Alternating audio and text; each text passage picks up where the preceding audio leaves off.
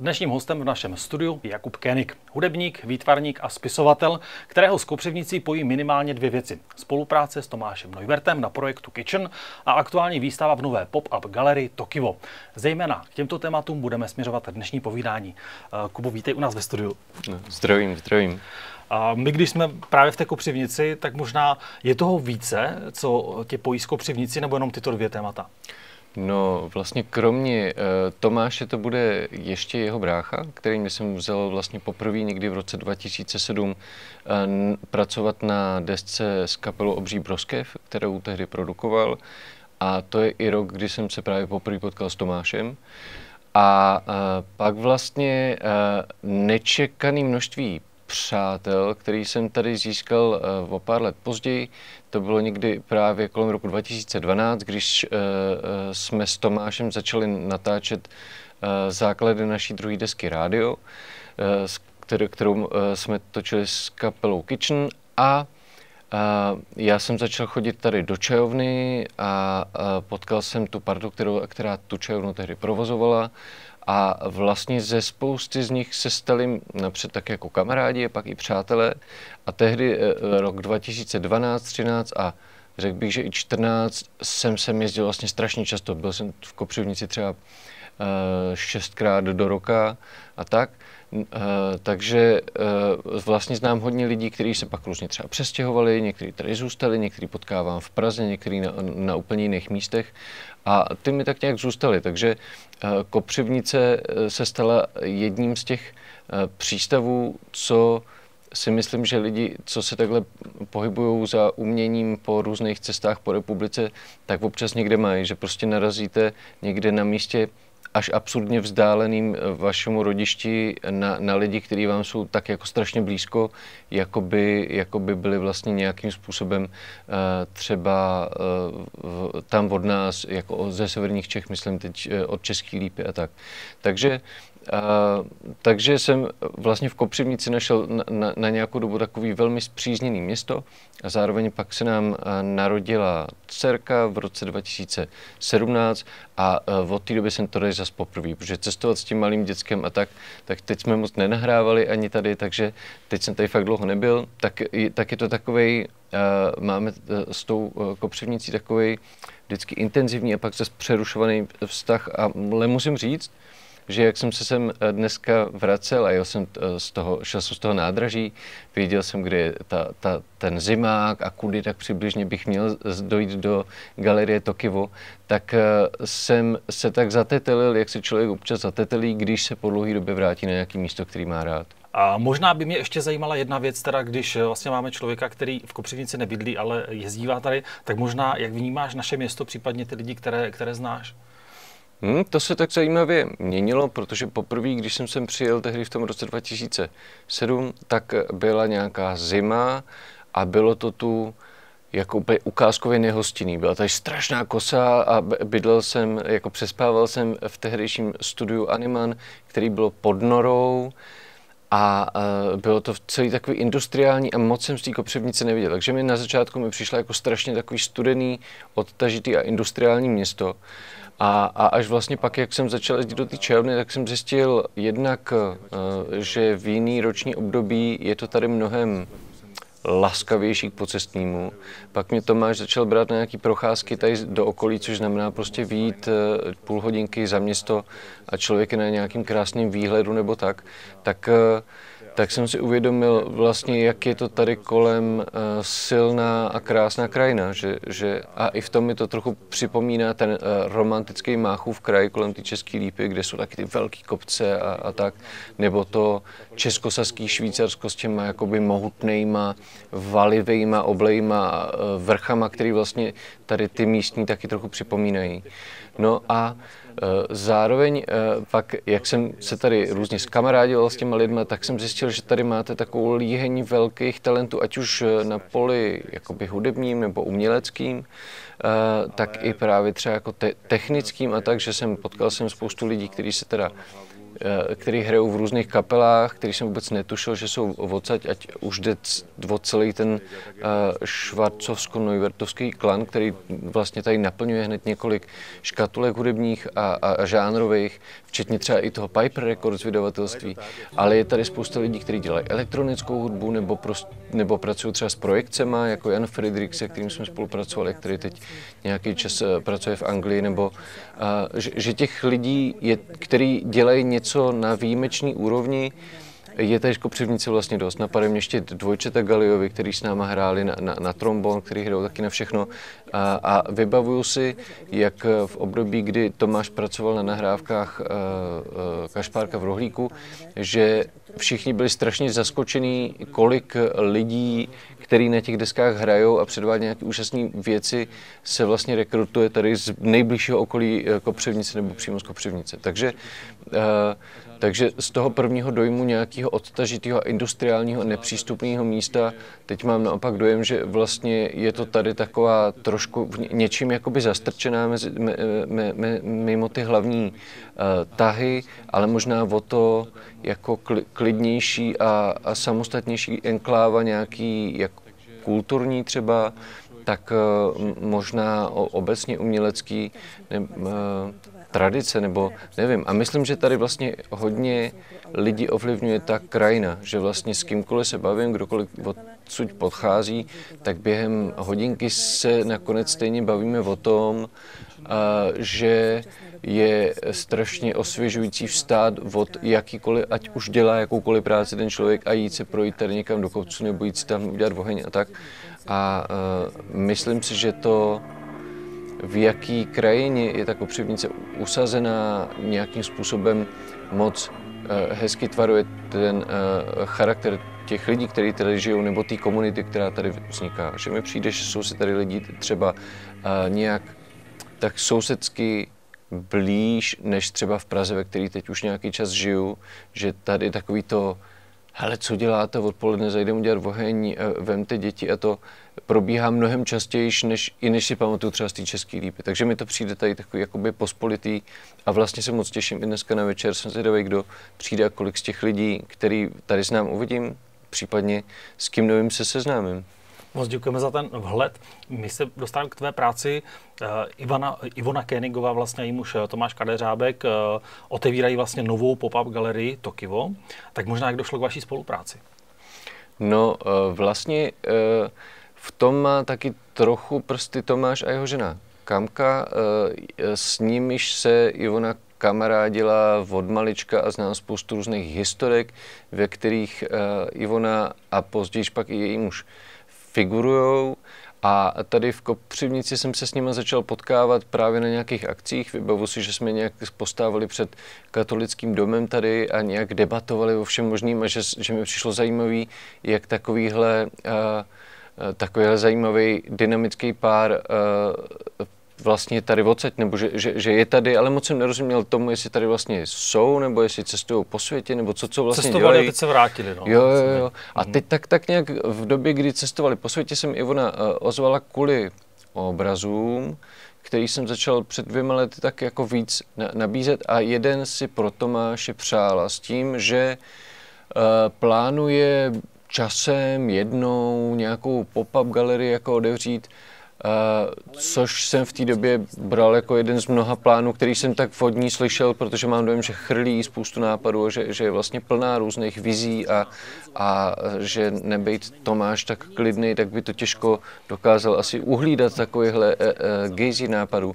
A, a, ale vlastně o, o rok a půl později se mi ozvala, že teď je čas na tu galerii, jak jsme se o tom tehdy bavili, že vlastně to s Tomášem odevírají a jestli se někdy můžou podívat na mý aktuální věci, které teď dělám, přijeli k nám na návštěvu a o pár dní později si přijeli vlastně sklidit jinou výstavu eh, a vlastně to skoro celý převezli sem.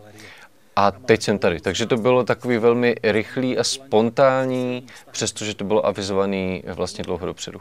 Tak oni říkali, že vlastně eh, tím, že zahajují, tak eh, chtěli udělat tu výstavu zajímavou, vybrali si právě tebe, protože tě znají a říkali, že toho doma máš právě spousty, takže byli nadšení, že to sem přivezou a, a představí to místnímu publiku, tak se všechno vlastně lidé uvidí.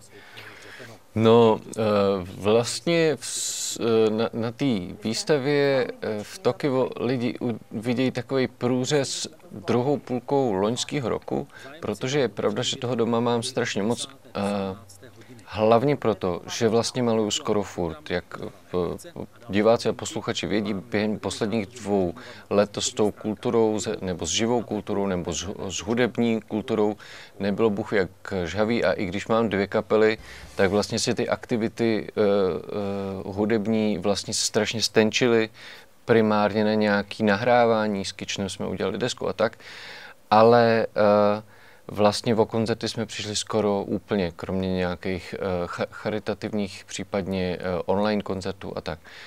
A asi by, uh, asi i ti diváci a posluchači, co třeba se nevěnují aktivně nějakému umění, tak určitě mají něco rádi, jakože třeba běhání, nebo, nebo třeba rádi si pustí vyčetelku, nebo rádi si pouštějí rádio, když mají nádobí. Mají nějakou činnost, která, když se jim sebere, tak si toho napřed ani nevšimnou, ale po pár dnech začne být člověk takový trochu naprdnutý s prominutím a ani neví pořádně proč, než si uvědomí, že mu chybí ten jeho obvyklý ventil, nebo ta jeho obvyklá jako libůstka, nebo jako radost. No a pro, pro hudebníky nebo umělci je to, je, je to vlastně dost podobná situace, když postupně zjišťujete, že jste takový protivný, že, vám, jako, že se vám vlastně nestává moc dobře, že, že ani do, doma vlastně, kde byste se měli cítit relaxovaný a spokojený a tak, tak se vám nedaří se koncentrovat. A přestože třeba člověk má vlastně relativně hezký věci v životě, tak jakoby všechno viděl tou uh, vošklivou stranou některý dny.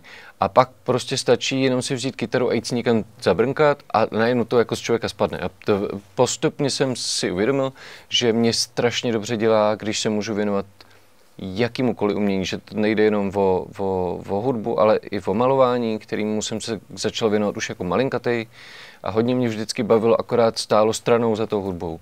No a tak jsem začal napřed malovat na plátna. Ve chvíli, kdy se ty plátna tak začaly trochu prodávat, tak jsem se začal kupovat další plátna a dneska to u nás vypadá tak, že máme vlastně strašně moc pláten pomalovaných. A i když občas, nebo vlastně v takových vlnách relativně se mi podaří je vždycky jako prodat a poslat mezi lidi, tak se strašně rychle zaplní. Takže na této uh, výstavě lidi uvidí vlastně třeba půl roku staré věci, ty, ty, ty starší jsou už většinou prodaný nebo rozdaný nebo v nějakých jiných galeriích.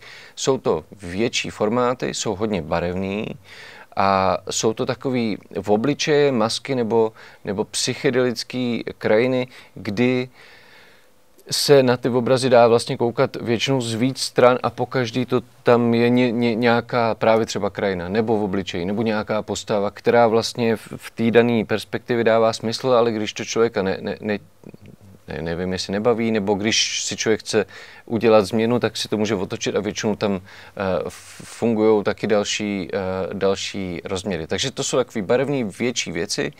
Uh, pak jsem si všiml, že ponorná města tam také jsou. Jo, jo, jo, je to tak.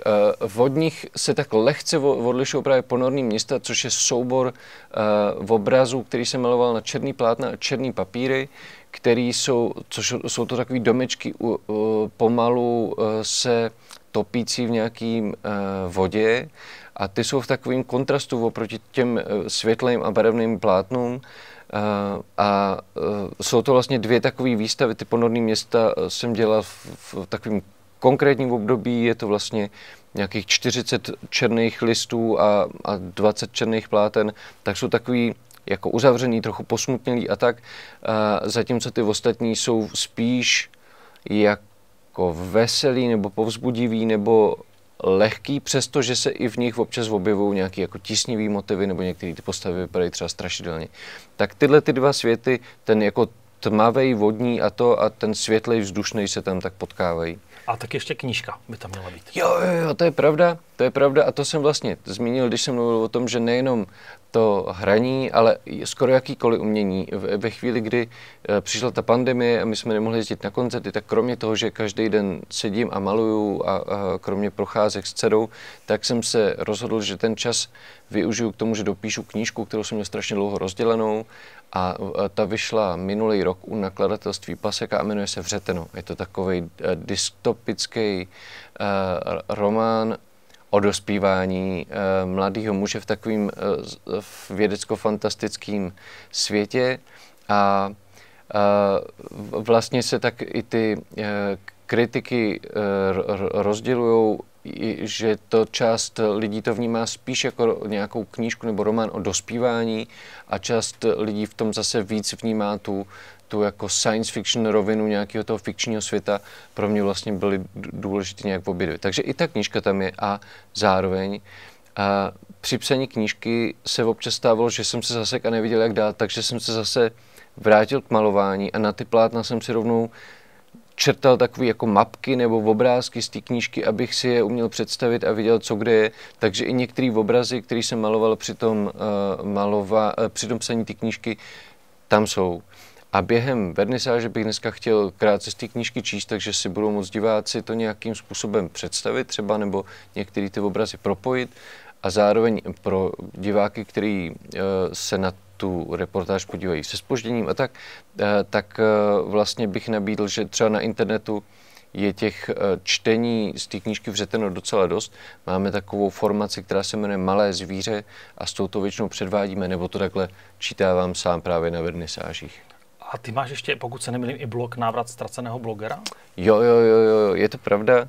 Je to pravda, to je takový, to je taková věc z roku 2000 tři, kdy jsem si začal psát blog pod vlivem uh, uh, tehdy rostoucí blogové vlny a toho jakoby uh, objevování toho internetového prostoru. A s nějakýma přestávkama jsem si ho vlastně psal, nebo si ho píšu doteď, i když asi před šesti lety jsem vinou svého zmatkářství a nějaký špatný domluvy vlastně přišel o velkou část toho blogu a podařilo se mi pak zachránit zpátky a trochu jako restaurovat, tak je to takový dobrodružně uh, nostalgický průlet, uh, tak lidi ten blog můžou najít na mých stránkách jakubkénik.cz a najdou tam i ty staré zápisky z roku 2003, i ty uh, novější. Vždycky se tomu věnuju chvilku, pak za dlouho nepíšu, pak se tomu za chvilku věnuju. Je to, takový, to je taková nejví, nejobčasnější ze všech těch aktivit, které dělám. Tak pro posluchače to může být eh, zajímavé, že si chvíli poslechnou hudbu a případně potom si něco zajímavého přečtou. Že ta nabídka je široká. Je to tak, je to tak. My určitě ještě se krátce pojďme aspoň zmínit ještě ke spolupráci uh, na Kitchenovi, uh-huh. uh, protože to je zase spojeno s Tomášem Neuwirtem, uh-huh. který je právě z Kopřivnice. A on ho potom ještě, když neměl čas, nahradil Ondra Edkit, uh-huh. pokud se nemýlím, že se museli kluci střídat. Jak možná aktuálně vypadá tento projekt? Tam uh, tam se to tak jako ustálilo, vlastně s Tomášem se Ondra střídal hlavně v době, kdy Tomáš hrál s Kafka Bandem, což znamenalo uh, angažmá v Brémách, v divadle a pro mě to tehdy znamenalo, myslím, že to byl tak nějak rok 2015, 16, 17, že jsem hodně jezdil sám po koncertech, takže jsem poprosil Ondru, se kterým jsme se potkali mezi tím ve zvířeti jménem Podzim a uh, hráli jsme společně a z pár koncertů se to tak Mm, vlastně rozjelo, že se nám hrálo spolu moc pěkně a pak se vrátil Tomáš a zjistili jsme, že ve třech to fakt funguje moc pěkně, takže jsme loni vyrazili eh, do Jeseníků natáčet eh, ve třech desku, natočili jsme desku Puls, která vyšla loni v květnu, vlastně skoro přesně před rokem takže jsme natáčeli předloni už tu desku, no to je teda strašně to letí. A, a když jsme se připravovali na koncert, tak nám došlo, že by se nám hodilo, kdyby kromě toho základního tria jsme měli ještě někoho na výpomoc a půjčili jsme si baskytaristu Štěpána Růžičku, který zároveň takhle hostoval i ve Zvířeti a který je strašně dobrý, šikovný a zábavný a chytrý a tak jsme ho vlastně radši hnedka vzali do toho nejužšího týmu. Takže teďka hrajeme ve čtyřech, ve čtyřech hrajících lidech, nebo většinou hrajeme ve čtyřech, protože zase občas má někdo nějaký závazky. Máme VJku Lindu, která s náma jezdí a která to dotváří eh, a která jezdí se zvířetem. A pak eh, Dana Václavka tadyhle z hotelu Portáž, který nám dělá zvuk. Takže jsme taková z toho původního jednočlenného projektu se to rozrostlo vlastně na 6-7 lidí, eh, ale je to moc eh, hezký, takže bych eh, rád všechny pozval, když uvidíte někde Kična na plagátu, ať se přijete podívat, že si myslím, že ta kapela teď hraje opravdu perfektně a že slyšet to i s tou Štěpánovou basou, Tomášovým ambicím a Edgarovou elektronikou je fakt zážitek. Těch témat asi, o kterých bychom si mohli povídat, je poměrně mnoho ale náš čas eh, je daný, tak eh, možná, eh, když si právě skončil tím vlastně pozváním, hmm. tak možná které konkrétní projekty teďka nebo konkrétní akce třeba pokud budeš vědět, jsou, kam by si mohl lidi pozvat, aby se na tebe přišli podívat, seznámit, jak třeba ohledně výstav, co se týče, jedna právě proběhne teď v Kopřivnici, hmm. nebo co bude dalšího? Hmm, tak tu Kopřivnici bych doporučil prohlídnout a pak se nám ty, pak se, pak se to tak jako rozdivučuje, protože přes léto vlastně najednou, eh, jak se ukazuje, že se teda asi bude hrát, že, že vlastně eh, to téma toho covidu pomalu mizí a tak, takže se objevují velmi rychle různý koncerty a to portfolio se rozrůstá. A stejně tak jako i tahle výstava vznikla velmi rychle, tak vlastně v současné době si dokážu vybavit další výstavu až v září, ale ta zase je na strašně zajímavém místě a je teda spojená s, spíš se zvířetem uh, a bude v Račím údolí, v tančírně v Račím údolí, která by měla být spojená s jedním z posledních koncertů zvířete, uh, na který bychom právě rádi pozvali úplně tu zakládající partu, takže i, i, i Tomáše a tak. No a ty kičnovský koncerty teď jako hodně přibývají. Vím, že budeme hrát na festivalu Besra u Big Beatu. Ten mi teď tak utkvěl a utkvěl mi hlavně, protože je to jenom o den dřív, než máme e, smouženou termín e, pravděpodobného narození našeho druhého potomka. Takže si tu besedu u Big Beatu pamatuju uh, opravdu, je to 7. srpna děcka, tak uh, si to zapište, protože 8. Eh, rodíme, tak eh, ať tam jste, protože pak nějaký čas budu všude jenom na skok a, a to. Takže, takže já se musím teda omluvit, že to nemám těch dat v hlavě tolik, ale mě se tenhle ten rok všechno točí kolem tohohle data a jenom kolem toho, aby se to všechno stihlo připravit a zařídit, až, až, až bude chtít přijít na svět ten nový člověk. Je mi to jasný. Já právě jsem si proto říkal, že zhruba asi, kde, kde bychom se mohli potkat, jinak doplním možná, že ty máš teď pětiletou dceru. Ano, je, teď bude, v srpnu taky bude pět let, tak je to srp, srpnové děcko, takže teď bude pět let a uh, řekl bych, že uh, když se vypravíte na nějakých z těch koncertů, co si teď nedokážu vzpomenout, možná nás tam potkáte i spolu, protože je velmi muzikální a začíná si fakt užívat, že její tatínek hraje v kapele, takže to spojuje. Teď jsme byli na Please the Trees, bylo to bezvadný. Kubo, já moc děkuji, že jsi přijal pozvání do studia. Moc rád. A přeju samozřejmě mnoho úspěchů, jak v oblasti výtvarného umění, v tom psaní a také v té hudbě. Děkuji moc, děkuji moc, přeju vám eh, hezké dny, přijďte se podívat a doufám, že se někde uvidíme. Díky moc.